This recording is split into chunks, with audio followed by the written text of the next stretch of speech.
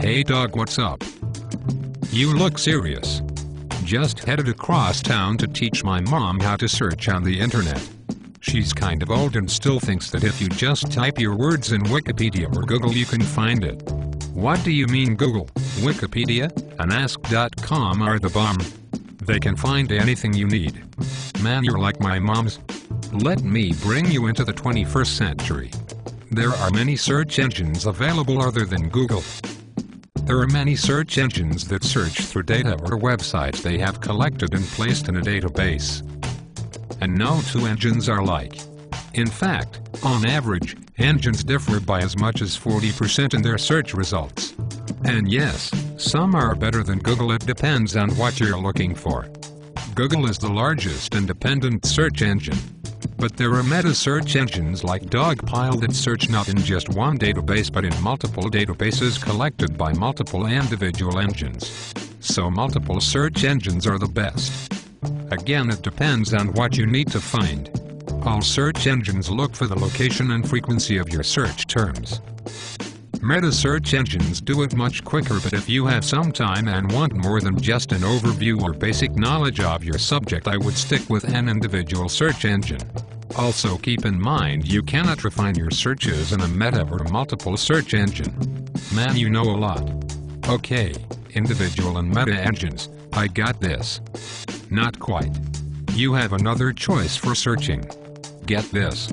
Search engines search by robots but subject directories are maintained by human beings like you and I. And the good thing about human editors is that you get a more organized search because someone has organized the data or information into categories and subcategories. All laid out using MetLogic for your search to be nice and tight. Cool. Sounds like subject directories are the way to go. Well they are if you want to search for a popular topic or if you just want to see what is out there on your subject. And there are all kinds commercial, academic, portals and portals. Portal? Sounds like a passageway from the movie Star Trek. That is exactly what a portal is. A gateway or one-stop shop to great websites and information you may need and it is compiled and maintained by a librarian. I always liked our librarian. Good old Mr. Tedesco. What about Vortals? How can they help me? Vortals are databases of websites and pages collected by a professor or a government agency on a specific subject. Imagine an archive or collection of websites just on graffiti art. That sounds great but my Google can still do alright. Man hold on. Listen. Ever heard of the deep web? 60 to 80% of the entire internet cannot be accessed by a normal browser or search engine like Google. What?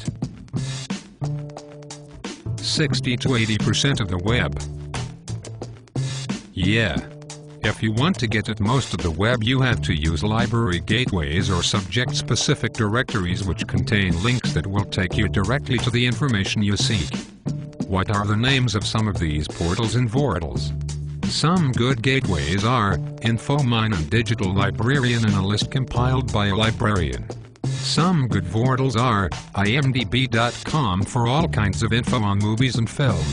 And a good database for finding a job is monster.com. Now, hold up. I know I got this.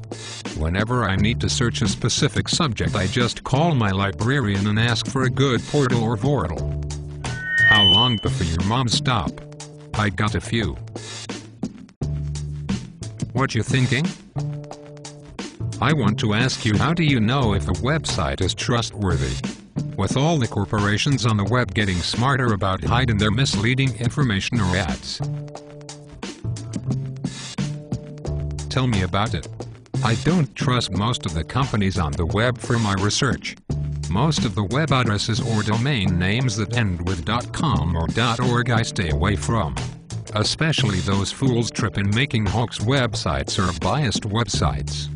They pretend to be fair and neutral but try to slip in their opinions.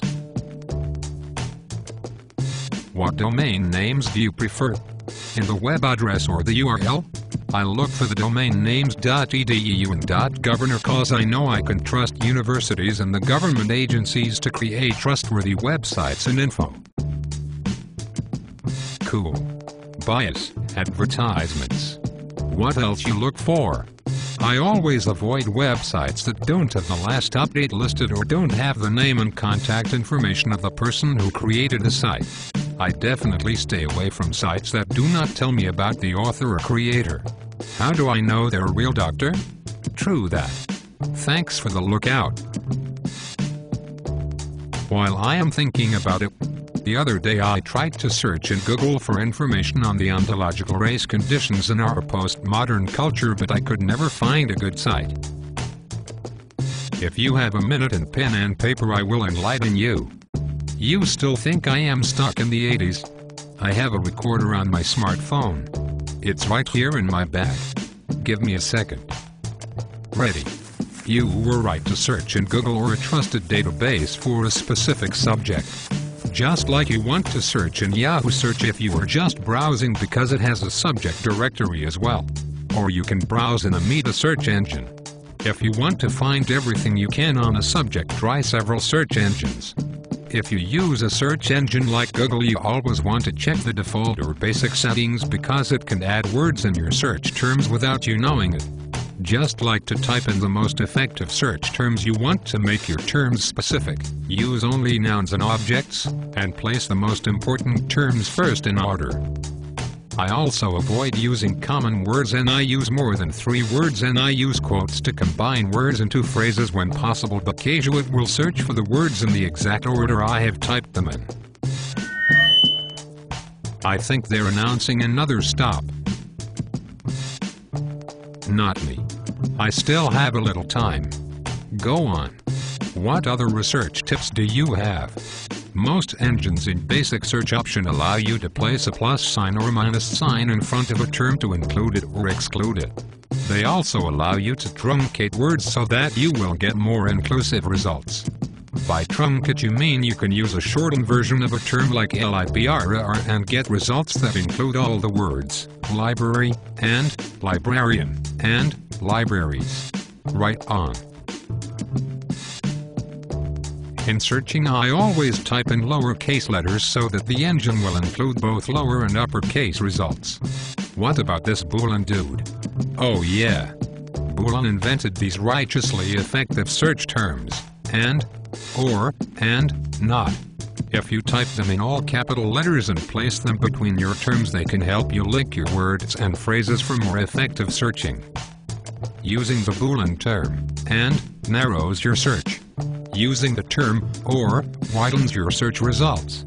And using the Boolean term, not, limits your search results by including your first but not the second term. No pun intended. Oh yeah. If you place the Boolean term, or, between two words you want to put parentheses around them to combine the search statement. Your stop. Right on. Almost finished. You can use a website's various fields placed in the search terms for a more effective search. Fields as in the website's title, domain, or a web address. Right. You can also improve your quality of search terms by placing among them other website fields such as the host site, links, and names of images. A few last tips that may help as well. If you get too many hits in your results try to use more than one word and no common words. I use synonyms. If your search hits are too few then you need to change your terms or try a new engine. This is you man. Happy searching. Peace out.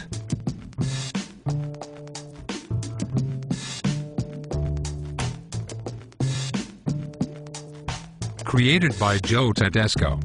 Based on information from a tutorial called Bare Bones 101 single quote created by Ellen Chamberlain at the address www.sc.edu.